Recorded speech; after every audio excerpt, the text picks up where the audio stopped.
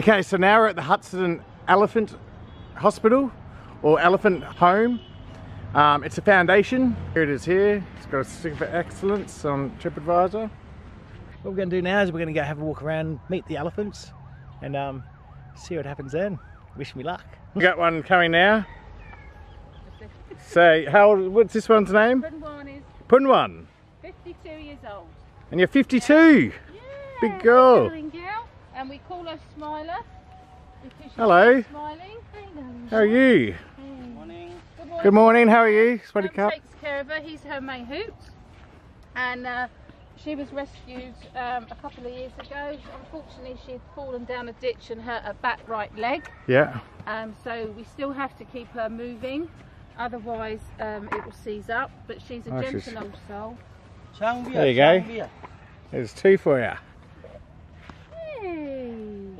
không? Wow. Wow. Hi, darling girl. See the way she moves her back leg. Yeah, yeah, I can see that. See, you see how she swings her leg out there? When she when she first comes, she could. Is there any- walk. She was is- like she was like, oh Does anyone know why she, why it's happened? no. Apparently, No? all we were told was that she slipped down a ditch. Okay, right. So, She likes a big tree, does she? oh, they all love that tree. Oh, really? Wonder why, isn't it? It's just a scratching tree. It used to be a mango tree. Oh, they scratch they scratch up against it, do they? But they like having a good old scratch. Oh, they scratch up against the trunk.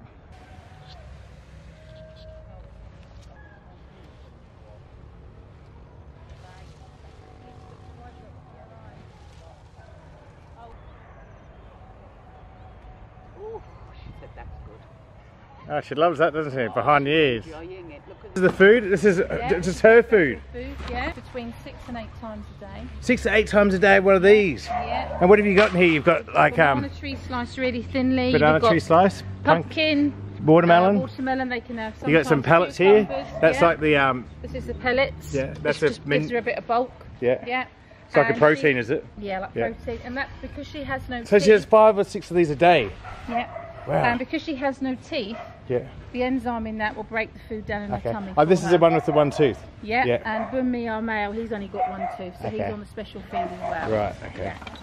So basically, she's uh, And how long will it take her to eat that?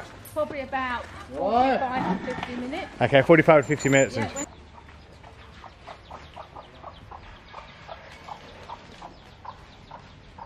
Thôi, thôi. Uh, when she first Yeah. came here, she used to be really food Right. orientated, Right. so she'll go to hit you. Oh, really? And we think what it was, um, she was based every It's time just territorial. Food, she was sent out on another trek again. Okay, so She she, never got a chance to feed. Yeah, so right. Her only way of getting it was being aggressive. yeah, But now She's you realised it. and it's like everybody loves me here. yeah, yeah, Um, and I'm not gonna, no one's gonna hurt me. yeah. Um, and So she can just go at is her own the pace. Same age. He's nearly 70. She's nearly 70, and um, he takes care of her. And she's a sultry old soul. Right. She's totally blind in her right eye. So she's so this one's blind in the right Yeah, eye. it's- the right eye's total. This is only 30%. Yeah. When you talk, when you talk to her and feed her, Yeah, you've got to be very, very calm. yeah, right. She goes, she goes out and walks, Yeah, and it's always on the left side. yeah. But she is. So she's got 30% vision in the left eye. Yeah. Yeah. like Loy tongue, is it? Yeah, I gotta watch them, don't I? They're all females. I really gotta watch them. She's out walking. You would think that butter wasn't out in your mouth. Yeah, yeah. Um, But when- she, is, she is the protector of our herd. Yeah. Any signs of problems, she'll be the first. She's the one that organises them all. Exactly. She'll Yeah. be the one to sort everybody out. Yeah, right. Totally in love with Bunmi. This is her boyfriend. So what what she's doing now is whipping herself. Yeah. What's that for? Uh, just basically because she she thought she doesn't want to put it all in her mouth. She's just stripping. I just kind of just like yeah, she breaks it up a bit. What happened to her tusk there? Uh, his tusks, um, basically about four years ago, someone coming at night in the night field because they're only here in the day. Yeah. Oh, so they only chained up here during the day. Yeah. Yeah. And they're in the night field where Yes. they can socialise. And So they get to walk around sedated- around out there. Yeah. Yeah. They sedated him. They Um, sedated him. What tranquilizer? Yeah. Yeah. Um, and basically, Lighton, who's next door, was obviously kicking This one here? there was danger coming. Yeah. Um, to shut her up, they burnt her tail. Oh. In a way, they were kind to him because they only took the tips off. Yeah. Right. Now, the tusk forms part of the upper lip, so it goes underneath. You see where you, you can just see the skin, Yeah, but it actually forms part of the upper lip. yeah, Now, when poachers come in, they normally go right to that point. yeah, right. When So they get the whole lot It leaves a big hole. and it can get affected. Yeah.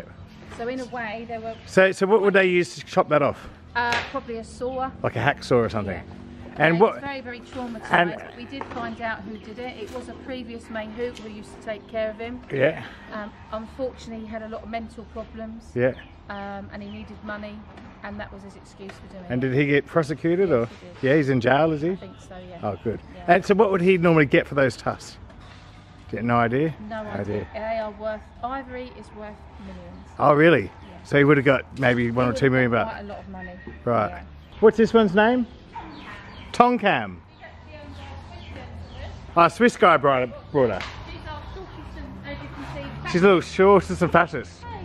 Little fatty, aren't She's you? only ever worked on a farm. Yeah. I thought she was a logger. Yeah. Yeah. No, she's never worked in the logging industry. Ah, okay, only yeah. On a farm. What, like digging trenches us, and. She had a really bad leg infection on a on a on le- leg and a foot. The farmer actually asked us if we could help. We said Okay, yes. so that's good of him to do that. So we brought her here. Yeah. She had a month with us. Then he Yeah. phoned up and said, um, "Can I have her back because I need help?" Yeah. He said it's not healed. He said it doesn't matter. Yeah. Oh, really? But a week later, he said she's gone lame. So we had to bring her back. And then he said, "I can't afford to keep her anymore." So that's when we found. So Chris is a Switzerland guy. yes, he is. He- He comes over about. He used to have business in Bangkok. Still Yeah. does a small bit. Yeah, and he brought her, did he? Yeah, he. And do you mind how much does an elephant normally go for?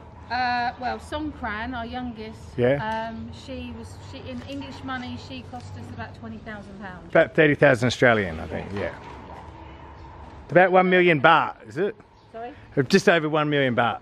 Yeah. That was very nice of him to do one that. could potential come here. Yeah. And they're, they're asking eight hundred thousand baht for her. She's Right. thirty years old. Have you got room for her? We have now. Yeah. Yeah. Our Rumble is. Oh right, of course. Yeah. You would have loved. Yeah. Right. So that's where the one that was previously. And, um, Poor thing makes you sad, doesn't it? you know, she, you know, we only give her two weeks to live. She was, right off the bless her heart. Oh, you would have been devastated, I'm sure. Oh, it's been quite hard, yeah. Eleven years spending time with an animal. I know. Trust me, I've had dogs. There's nothing worse. Oh, she's got the sweet corn there. incentive for her, didn't we? Oh yeah. Okay. Right. So that's. When she's being good, you can kind of- Oranges, she loves all that. But her favourite is oranges. So you work here what five days a week? yeah, I, I'm, at the minute I'm going to be doing six Six days a week. Wow. So I. Um, It's an amazing thing what you do. Yeah, because we've got the new teacher starting, Yeah. so I have to make. And could you could you think of anything else that if you like what else would you be doing if you There's only so many times you can clean your house. yeah yeah well that's right. Well I don't even clean mine so And I love the beach, but not all the time. no no it's a very good thing that you do especially six days a week. yeah. Yeah, you can see those little tusks there. They'll stay for about um that's as big as they'll grow. Hello Jackie. Okay, hello. Hey, So you so you look after Songkran. Yeah, okay. Oh, you got a big job, I think. Good. She's very naughty, yeah, Good. from what I hear. Okay. Yeah. Sometimes Songkran very Yeah. naughty. Oh, Yeah. Yeah. You get the bad one. This is Cozy.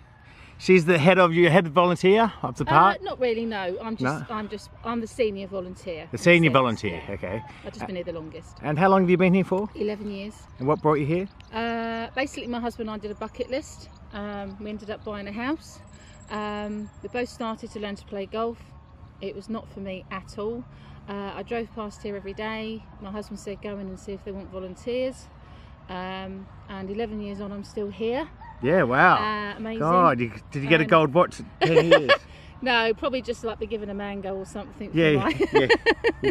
um, but I wouldn't change it for the world. Yeah. Um, Thailand's a very beautiful country. Yeah. Um, it's not easy, as most people will experience. Um, but I'm very fortunate. We are very fortunate as a team that we uh, have a quite a good boss, very good boss, in fact.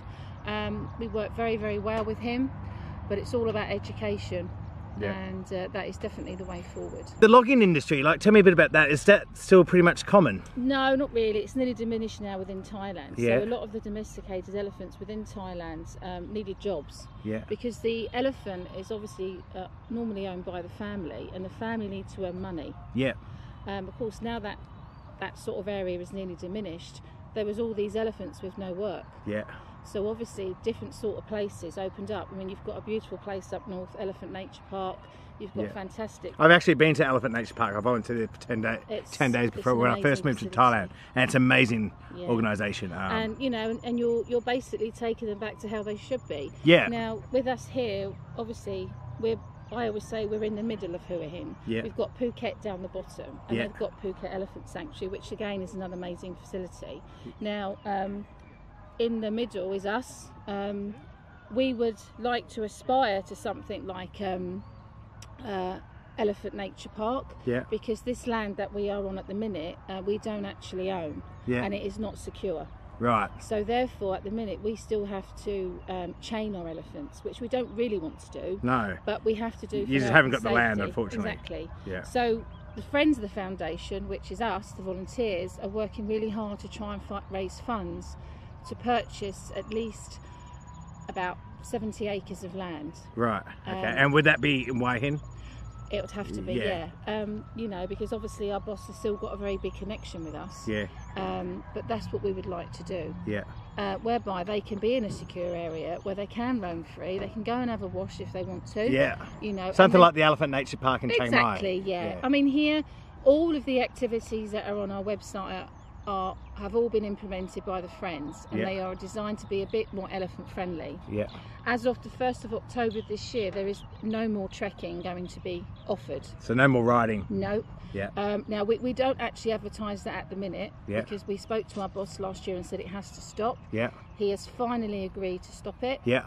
Um, we do, off, however, offer a bareback ride that's one person, Yeah. which sits on a big blanket. Okay, but it's no no saddles or. Nothing like Yeah, that. okay, well, that's a good thing. Um, and we offer a walking activity, Yeah. and we also do an education activity, which we actually started up last year. Okay. Songkran was still performing a small show. We stopped that. Yeah. What Uh, kind of show was she performing? She was doing like stupid tricks. Like, Oh, like dancing, like you see them in, like they used to have them in Bangkok. They'd be like dancing out in front of nightclubs and and you know, and she's she was getting stressed because she's being forced to do something Yeah, she doesn't want to do. And Mahout was getting stressed because because, it- yeah. she's getting a big girl. I have actually watched the documentary on how they break them in. Yeah, it's Um. I watched that up at the Elephant Nature Park in Chiang Mai when I first moved here, and it was I had to walk out of the theatre. Mm. Yeah, it was, um, uh, it was so depressing. Um, I'll, I'll leave a link for anyone that's watching this vlog now that would like to um, to.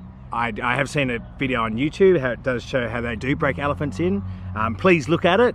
Um, please be aware that it isn't very nice to look at. So, um, but I'll leave the link for that on how they break elephants in when they're a baby, and um, you can go have a look at that. So, tell us a bit about the. How many elephants do you have here? Um, we we used to have seven. We've now only just got six. Yeah. Unfortunately, one of our very old ladies passed away about three weeks ago. Ron Oh, Roy. Um, we rescued her in 2009. Uh, very emaciated, very neglected, from just down the road, um, and we realistically only give her two weeks to live.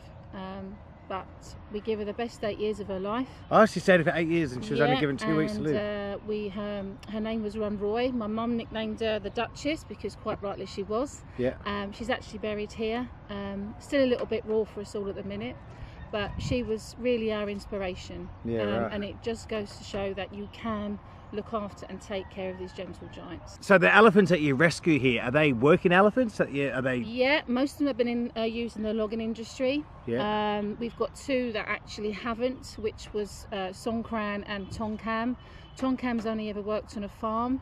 Uh, the farmer actually approached us because he needed help because she had a leg injury, Yeah. uh, which was a real positive sign for us that they actually approached us. Yeah. Um, but she's now actually owned by a Swiss gentleman and our boss. Oh, he purchased her and donated it Yes, to the. right, yeah. yeah. And also uh, Songkran, she's been with us since she was three years old.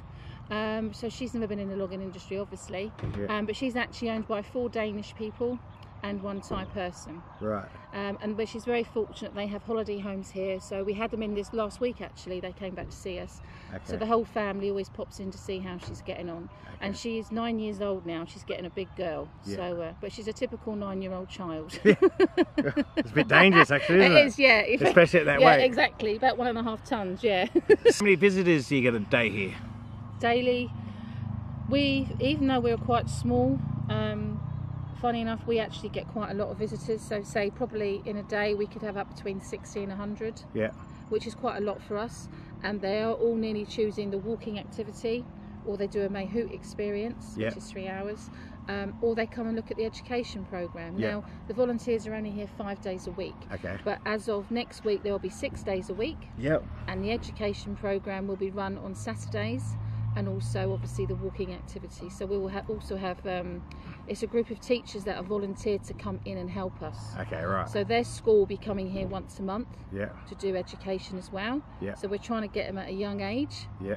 um, so for us it's a massive step also um, you know johnny in 11 years i've seen a lot Yeah. I'm sure i you have. do feel now that we are breaking the back of it Yeah. And- trying to get. There's a, there's a light at the end of the tunnel. There is, and it, it's still quite, um, you know, be patient, be patient. That's all you have to be. Well, yeah, these these these kind of things don't happen overnight, No. unfortunately. Like there's, you know, there's so many people that are so used to what you know, like it's, it's but it's so good to hear that logging is being phased out of Yeah. Thailand now, And, you and it should be like this turn of age. There's bulldozers. There's, you know, I mean, we've got high, high big machinery and stuff to do all that. But Yeah. but back in the day, elephants is all, all that they had, really, wasn't it? Exactly. That's all they had, and it's like I say to people when, when we're giving them education and walking, it's it's not sometimes. These people don't know how to do anything different Yeah. because it's been going on for generations. Yeah, well, that's right. and this is where the education bit gets in, and yeah, and I do believe, you know, that like it isn't the Thais' fault. That, It's or- not. no. It's because it's a generation thing. But you know, our mahouts, you know, they are they are all learning. Yes, sometimes with resistance, but they're realizing this is a better way of doing things. Yeah, absolutely. If you keep, if you look after your elephant, you know, if you take care, people see this. Yeah, If you are in any way cruel, you are dismissed straight away. yeah, right. Yeah. You know, and um, you know, it's taken and a it's long so it time. should be. Like, so uh, is it true what they say? Elephants don't forget. Never. No. They never forget. Yeah. When I I used to do um, six months at home, six months here, because obviously I have to work. Yeah. And I always think, oh, I wonder if they remember me. yeah. So I Right. drive, I drive up, and I just step out the car, and they all, t- and I speak, and then I have to go up, and all of a sudden it's like, she's here. You Yeah. know. Right. But it's only for the treats, John. It's for yeah. nothing Yeah. Yeah. No, yeah, the, the greedy things, the gutses, they eat everything. exactly. It's for nothing else. No, no, they just want the food. Exactly. And um, So it's open what seven days a week? seven days a week, uh, open from nine to about half past four, quarter to five. Yeah. Um, and uh, volunteers will now be here from Monday to Saturday. Yeah. uh, which is a massive bonus from, for, for the friends pers- uh, perspective and also for the Thai team's perspective. It Yeah. does help them. Okay. Yeah. Um, So, so people that are watching this vlog now, like, if they don't, if they say they're on holidays, I know a lot of people, a lot of my viewers actually come to Hua Hin, you know, three or six months of the year, and they stay back in the home country. Um, are they allow, would they be able to come here and volunteer? Yes, they can they can contact on email if they go on our website. The volunteering emails on there. Yeah. Um, Jan's the coordinator, so she'll be able to Okay. tell them what A- days. And how about how does how does the working visa thing go there? Um, basically, if you've got a working visa, you can only work for that company that's employed you. Now, what we're doing here at the minute is we are setting up a volunteering visa. We've got everybody who's volunteering. Yeah. The boss is sorting that out now, so that will be in the office. if So you can actually do a volunteering like like an educational visa. Yeah. Yeah. Okay. And how many days a week would you have to do that? Um, you have to do at least five days. Five because days a it's week. quite a lot we have to teach you. Yeah, right. It's not like taking a dog for a walk. no. no. I can I can see that. Yeah. It's a two ton bloody animal. Um, so yeah, we asked for a minimum of a week. you Okay, know, so so if anyone that is watching that would like an opportunity to come to Thailand, um, they they organise your visa for you, but you will have to work five days a week. Um, if you want to get those details, I'll have the details in the description. And um, so that's pretty much about it. Is there anything else you'd like to say? Yeah, I would actually. Uh, Yeah. If anybody, anybody at all, Yeah. can help us in this uh, assistance of getting land within Hua Hin, please, please contact. Um, give you give Johnny my email. Yeah. personally. Okay. Um, even if it could be a sponsor sponsor part, they could sponsor one rai. Yeah. Now, uh, 25 rai is approximately nine acres. Okay. Yeah. We're going to need a bit more than that. So how many acres did you say you need? About 20, Um, 70? we're going to need about 70. Okay. so Because we have to think long term, um, because obviously there will be more elephants that we'll probably have to rescue. See, the land here, I'm sure would be getting them pretty worth a fortune now, wouldn't it? It's a fortune Yeah. because it's near a town. Yeah. Um, you know, but again, it's not on mains water and there's no electric. Okay, so you told me before this isn't the, this property here isn't on mains water, so you're getting water trucks in, hey? Yeah, we've got a fire truck that we have to go out probably between two and three times a day. Really? That much got- we've water? got- We've got, water tanks underneath the ground that we Yeah, have right. because they do, they can drink between 70 and 200 litres of water a day, depending. Shit. So you got five water them. trucks a day coming in? Well, it's we only got one, but he's going out. Yeah. He'll check the tank. I need to go out again. Do you take cash donations? Yes, we do. Yeah. We pl- go online, Yeah. or they can bring us cash in, Okay. and there's a donation box inside the Okay. office. Or you can come in, you can spend a day here with your family or something, and that's yeah, still, they can come and they you can know, walk around. Whatever they spend at the door, there's no entrance fee here. no, They- it's just your programs even at if you. they don't want to do an activity and Yeah. they just want to feed, they can buy a 100 baht of bananas. That all goes back. Oh ah, right, okay, yeah. So, you know, we, there's no pressure here at No, all. okay, cool. You know. Okay, so there we go. That was a very good little chat, wasn't it? For myself, actually. You made these. I do. I make cakes every week for the volunteers. Oh, oh, really? Very nice, Jackie, aren't Oh, they? what is it? A cupcake, Yeah. with, And you made uh, these? Cream cheese frosting. cream cheese frosting. Yeah. It's all right, doesn't it? Huh? Do you want one? Mm. Do you want the last one? Oh, beautiful. Hi, that's right. How are you? And you're the owner. You do a very good job here. Very good job. Okay, so what's all this about? Thank you very much. It's lovely to meet you, Johnny. And, um, I'll uh, say if- see you soon, guys. Yes, I'll, I'll maybe come and do a few days here. Yay! So, um, but if you're here, if you're in Hua Hin, please come and visit. It's an amazing opportunity to, you know, to um, to see the elephants and have a look what's going on. Mày mừng ngon. Yeah, yeah. Yeah, yeah. yeah. That's a that's a nice one. Oh, you haven't got the snake watch on today. À, ông, He ông. loves your. Oh. Oh. Hey, where's that? All right. I'll see you later. Okay, I'll see you later. Take care. Thank you again. Bye bye. Yeah. Oh wow, that's an. Ừ. Is that Gold. is that real gold? Okay. Is that real? Okay. Wow. Ừ. Is that real? Yeah, Real. it's real. Real gold. All right. See you later. bye bye. See you later. Thank you very much. Sweaty cup. We'll see you soon. Take care. Okay. Good job. Bye bye. Okay, so that's the Elephant Foundation. Um, so please, if you're in Hua Hin, please come down, have a look. It's excellent. You can, you can spend a good half a day here, one day here. If you want, you can come and work here. So um, it's up to you. So um, I've got so much editing to do. I'm gonna wrap this up vlog up now and um, hope you will and we'll speak to you soon. Take care. Bye.